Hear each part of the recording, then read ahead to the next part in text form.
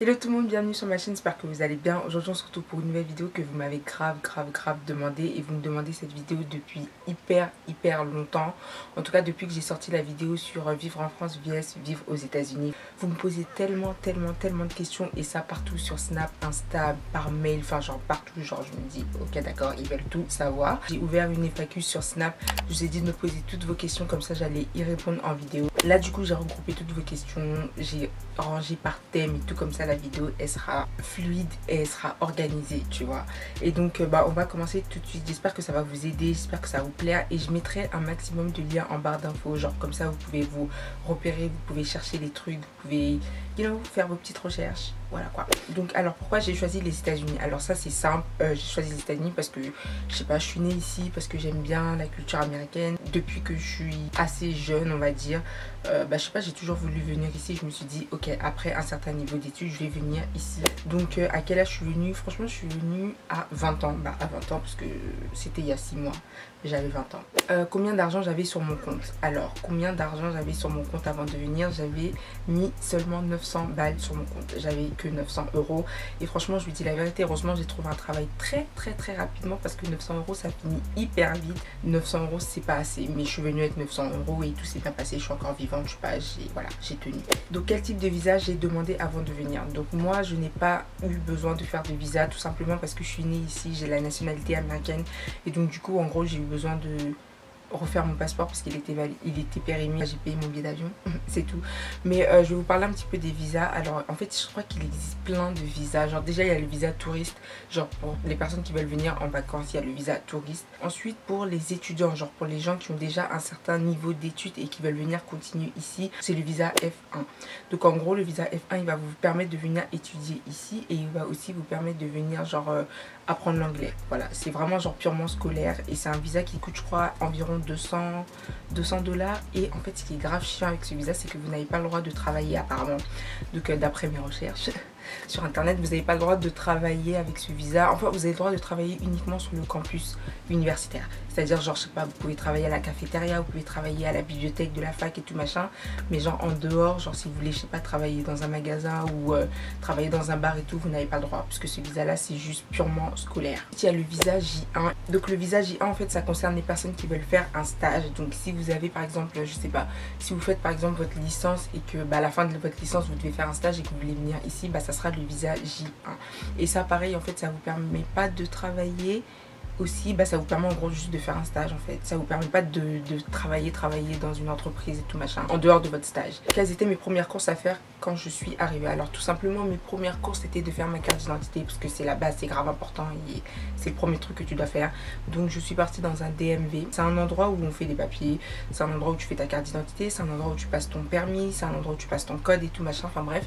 Et donc en gros je suis partie là-bas, euh, j'ai fait la queue pendant 15 minutes. Je devais fournir un, justificatif de domicile et puis mon passeport et puis je devais payer 10 dollars et puis c'est tout. Le deuxième truc que j'ai fait c'était d'ouvrir un compte bancaire parce que concrètement j'avais besoin de sous, concrètement il fallait que je travaille.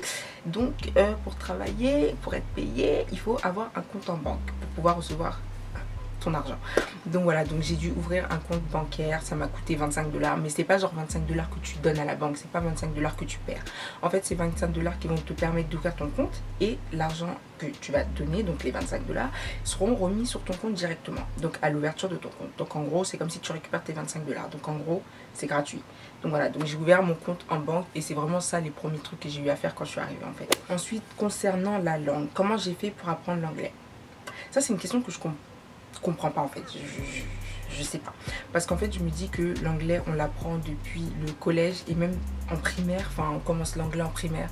Donc, depuis primaire, collège, lycée, même en, à la fac, enfin, on fait de l'anglais. Et puis après, certes, je me suis euh, perfectionné on va dire. Je me suis améliorée beaucoup beaucoup améliorée en regardant je sais pas des vidéos youtube qui me plaisent des films mais pas des films trop compliqués genre euh, des trucs trop scientifiques ou trop poussés. Je regardais des sitcoms genre euh, ma famille d'abord moderne family enfin les trucs comme ça les trucs hyper simples où t'as pas besoin de trop réfléchir ou euh, c'est vraiment genre des dialogues hyper simples. Ça te permet vraiment de t'améliorer au maximum. Donc vraiment c'est comme ça que j'ai appris à l'école et puis les films les séries les musiques les vidéos sur youtube enfin un petit peu de tout quoi c'est mieux d'apprendre l'anglais avant de venir ou sur place. Pour moi, c'est bien d'avoir une base avant de venir dans le sens où au moins tu dois déjà avoir un bagage en fait avant de venir. C'est grave important.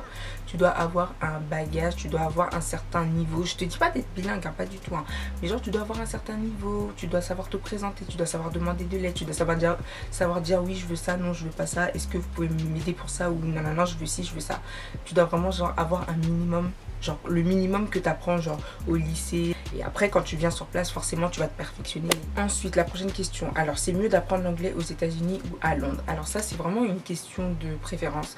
Euh, ça dépend de l'accent que tu préfères, ça dépend de la culture que tu préfères, du pays que tu préfères. Moi, je préfère euh, apprendre l'anglais du coup aux États-Unis parce que voilà c'est personnel en fait parce que j'aime bien la culture américaine j'aime bien l'accent américain. Après l'anglais c'est l'anglais c'est les mêmes mots. Après bon tu me diras il y a quelques expressions qui changent mais l'anglais c'est l'anglais. Ça dépend juste en fait de quel accent tu vas avoir. Mais moi je préfère l'accent américain. Comment faire si la barrière de la langue est un blocage? Alors c'est simple, tu dois te forcer, tu dois te dire que tu n'as pas le choix. Parce que forcément en fait au début quand tu vas parler tu vas te tromper, c'est comme ça que tu vas te perfectionner en fait, c'est en forçant, en forçant, en faisant des erreurs que tu vas te perfectionner. Donc faut vraiment pas faire, de la langue en fait un blocage en fait. Il faut vraiment que tu parles comme tu sais, tu dis ce que tu sais. C'est vraiment en faisant des erreurs que tu vas apprendre. Les gens vont te corriger. Il y en a qui vont te foutre de ta gueule forcément. C'est normal, il y a des cons partout. Faut vraiment se mettre dans la tête que ok c'est pas grave, je sais que je vais faire des erreurs. Je sais que je vais, je vais dire des trucs, les gens ils vont se dire mais elle sort d'où celle-là? Enfin tu sors de toi. Mais euh, c'est comme ça qu'on apprend en fait. Il faut vraiment se forcer. De toute façon ici les Américains ils ne parlent pas français. Genre ils ne parlent pas français. Donc en gros tu n'as pas le choix vraiment. Donc ensuite tout ce qui est logement. Alors comment j'ai fait pour trouver un logement? Alors moi j'ai de la chance puisque mes parents ont des connaissances ici et du coup je suis chez de la famille. Je n'ai pas eu à chercher un logement mais pour chercher un logement en fait c'est un peu comme partout. J'essaierai de vous mettre des liens en barre d'infos. Il y a vraiment grave des sites internet pour louer des appartements. Il y a des pages Facebook, des trucs comme ça. Enfin bref il y a plein de trucs comme ça. C'est comme ça on trouve un appartement en fait en recherchant sur Google et Facebook comme partout. Les prix des logements sont-ils abordables? Laisse-moi voir un peu. Comment vous dire? Prépare l'argent. Parce que les logements sont hyper hyper chers. Genre vraiment les logements sont grave chers. Le minimum, mais vraiment minimum que tu peux trouver ça va être 900 dollars. Et ça, ça sera vraiment genre un vieux truc dire. Donc vraiment c'est hyper cher que tu sois au centre-ville ou que tu sois un tout petit peu éloigné du centre-ville c'est cher. Et c'est pour ça qu'ici, les gens, ils vivent en colocation. Pourquoi? Parce que ça revient beaucoup moins cher. Genre, les gens, ils vivent à 4, 5, 6 et tout machin. Faut vraiment assumer de vivre à plusieurs. Mais c'est comme ça que les gens, ils font ici. Genre, euh, parce que ça revient beaucoup, beaucoup moins cher de vivre en colocation que de vivre seul. Y a-t-il des aides? Il y a des aides, mais en fait, le truc, c'est que c'est euh, alimentaire. C'est pas financier. Bah, après, je sais pas si ça existe. Je pense que ça doit exister des aides financières. L'État, en fonction de tes revenus, il te donne une carte. Et sur cette carte-là, en fait, il y a un montant. Donc par exemple, on va dire il y a 200 dollars et en fait ces 200 dollars là, tu peux pas les utiliser genre pour faire du shopping, tu peux pas les utiliser pour aller te coiffer ou quoi que ce soit. Non, tu fais pas ce que tu veux avec. En fait, c'est 200 dollars que tu vas utiliser dans de la nourriture. On va dire c'est par exemple 200 dollars que tu vas utiliser chez Carrefour pour acheter des trucs à manger en fait. C'est vraiment genre des trucs à manger. Après, je pense qu'il doit exister des aides financières, mais je ne sais pas, il faut se renseigner. Dans tout ce qui concerne la vie professionnelle, où est-ce que je travaille? Alors, je travaillais dans un fast food, euh, j'ai arrêté. Je suis restée 5 mois. J'ai arrêté parce que ça me saoule, c'est trop et puis euh, c'est bon quoi, c'est pas hyper bien payé.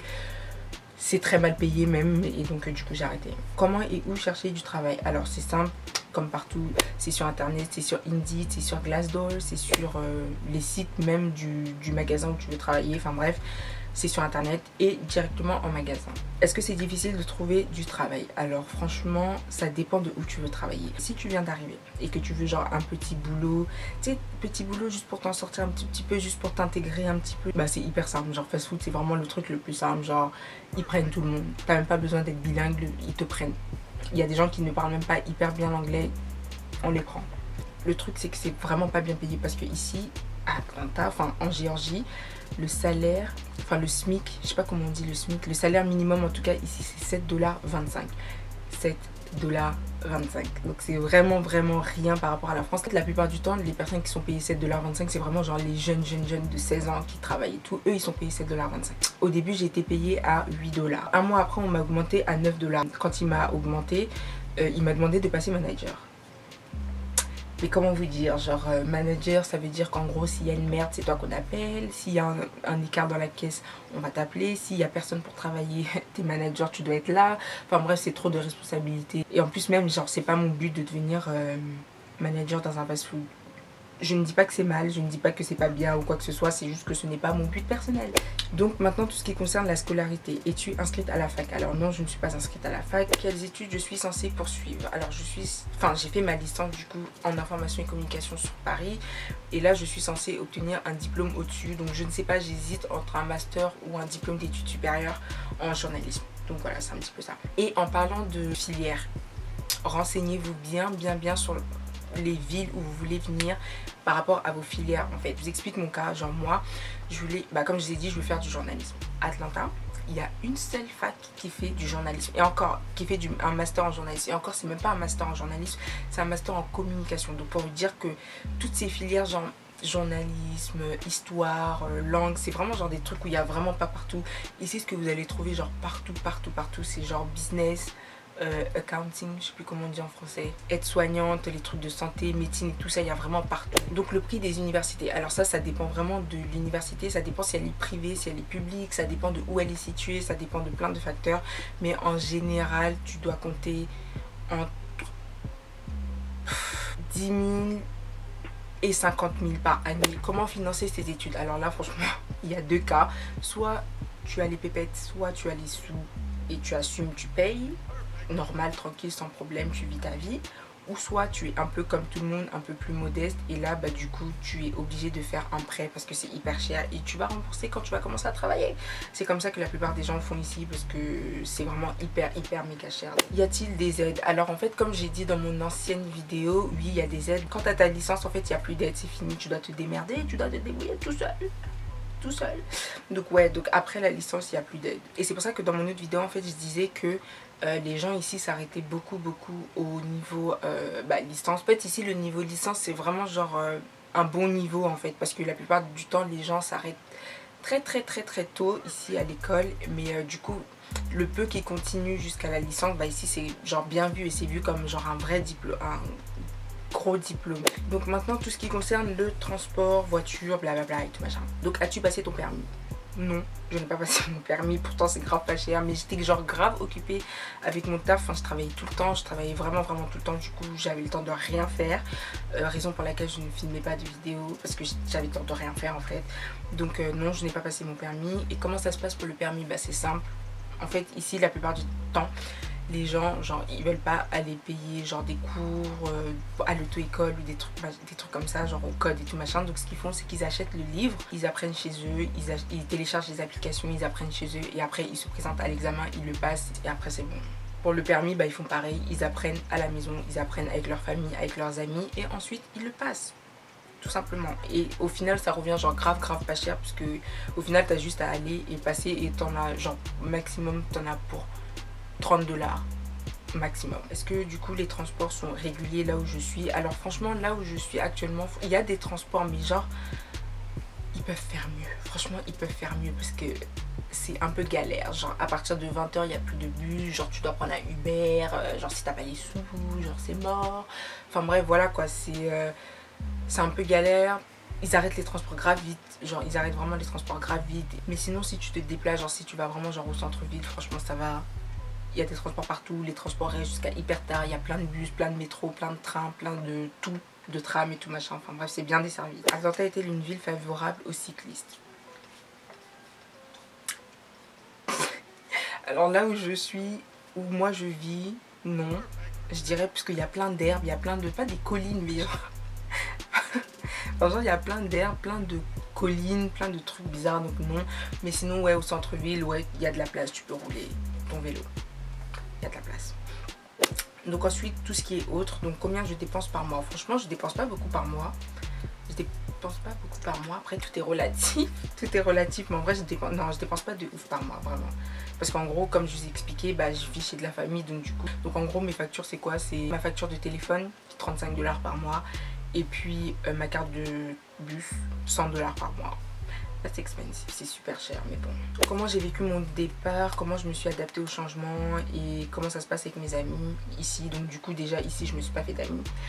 J'ai des connaissances mais c'est pas mes amis. Donc euh, comment j'ai vécu mon départ? Alors franchement moi je l'ai pas si mal vécu que ça parce qu'en quelque sorte bah je suis habituée à partir loin, je voyage souvent loin. Enfin, je suis un peu habituée à voyager, genre loin de ma famille, donc ça va. Mais pour quelqu'un qui est pas habitué, c'est sûr que ça va faire genre bizarre. Et comment je me suis adaptée au changement? Bah, genre ça va. Genre le changement n'est pas drastique. En plus, je suis déjà venue plusieurs fois aux États-Unis. Mais en soi, ouais, c'est pas comme si j'étais partie dans un pays éloigné au fin fond de je ne sais pas quoi. Genre, ça va, c'est les États-Unis. C'est une culture occidentale, donc ça va, c'est pas non plus ouf. comment sont perçus les mecs qui se maquillent aux États-Unis comparé à la France? Alors, franchement, les mecs qui se maquillent ici sont perçus normalement. Enfin, genre, personne les calcule parce qu'en gros, c'est tellement habituel, c'est tellement courant que en gros, ça dérange personne. Tout le monde s'en fout, tout le monde fait sa vie. Tout le monde est genre ok avec ça. Alors qu'en France, j'ai l'impression qu'en France, c'est genre encore un peu nouveau, tu vois. C'est les gens ne sont pas trop habitués, même les mecs qui se maquillent, genre j'ai l'impression qu'ils osent pas trop trop trop en faire en fait. Genre ils vont faire leur teint et tout, mais genre un teint hyper léger, tu sais, ils vont pas mettre grave des fards à paupières ou grave un rouge à lèvres qui se voit de ouf, ils vont mettre du nude et tout, tu vois. Parce qu'ils ont encore un peu peur en quelque sorte, alors qu'ici, bah chacun fait sa vie en fait. Mon avis général sur Atlanta, est-ce que c'est une bonne ville? Parce que c'est réputé comme étant une ville ghetto. Franchement, je vais pas te mentir, c'est un peu ghetto. Genre, c'est un peu la street. C'est un peu genre, c'est la street. C'est vraiment genre la street. Mais après, ça dépend encore des quartiers. Genre, c'est comme en France. Genre, par exemple, en Ile-de-France, on dit ouais, le 93, le 93, c'est ghetto, c'est ghetto, machin. Mais il y a des quartiers. Moi, je vivais dans le 93. Il y a des quartiers du 93 où ça va. Genre, c'est comme ici aussi. Enfin, certes, la plupart des quartiers sont ghetto, mais genre, euh, ça va. Genre, il y a des quartiers où c'est calme, tu vois. Il y en a très peu, mais il y en a. Sûrement, je ne sais pas. Sûrement. Donc est-ce que ça vaut le coup de partir? Ça encore c'est une question personnelle parce que moi personnellement oui pour moi ça vaut le coup de partir parce que pour moi voyager genre c'est grave important. Découvrir d'autres endroits c'est grave important. C'est pour ça que voilà je suis partie au Canada. Je suis restée un an là-bas. C'est pour ça que je suis venue ici. Ça fait six mois que je suis là.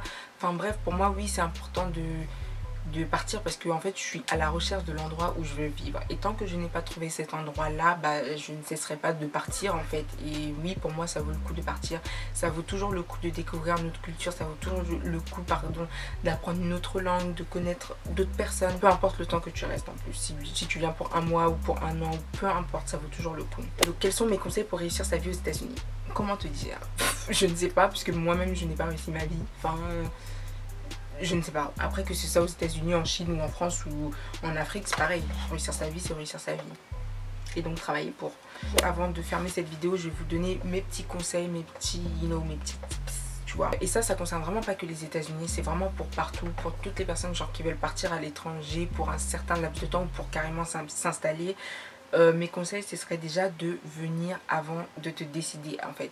De venir passer genre des vacances genre un mois deux mois ou même trois mois tu sais juste pour pouvoir savoir si c'est vraiment là où tu veux être en fait si c'est vraiment ce que tu pensais. Parce que des fois tu sais t'as as une image du pays genre des fois tu vois des trucs à la télé tu vois des trucs sur internet et tout t'as une image dans la tête du pays. Et quand toi-même tu viens en fait c'est grave différent c'est grave euh, peut-être différent, genre en bien ou en mal, tu vois. Et donc c'est toujours bien de venir avant. Donc faut vraiment, selon moi, venir en avance avant de te décider pour de bon.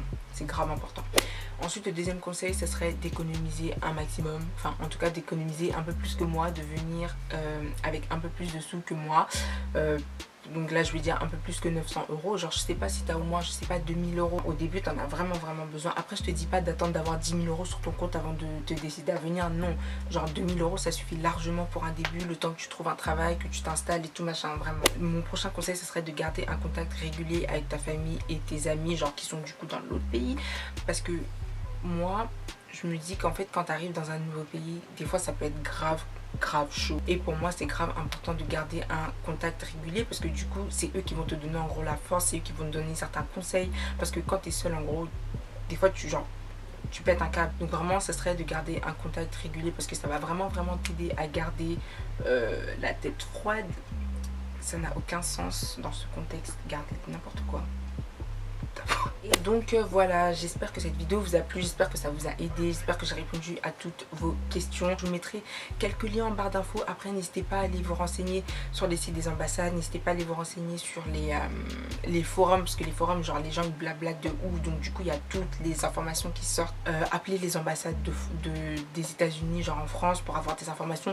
Ne vous pointez pas là-bas parce qu'ils ne vont même pas vous laisser rentrer, ils vont même pas répondre à votre bonjour, genre si vous n'avez pas de rendez-vous, c'est grave mort. Donc voilà, je pense que là j'ai tout dit.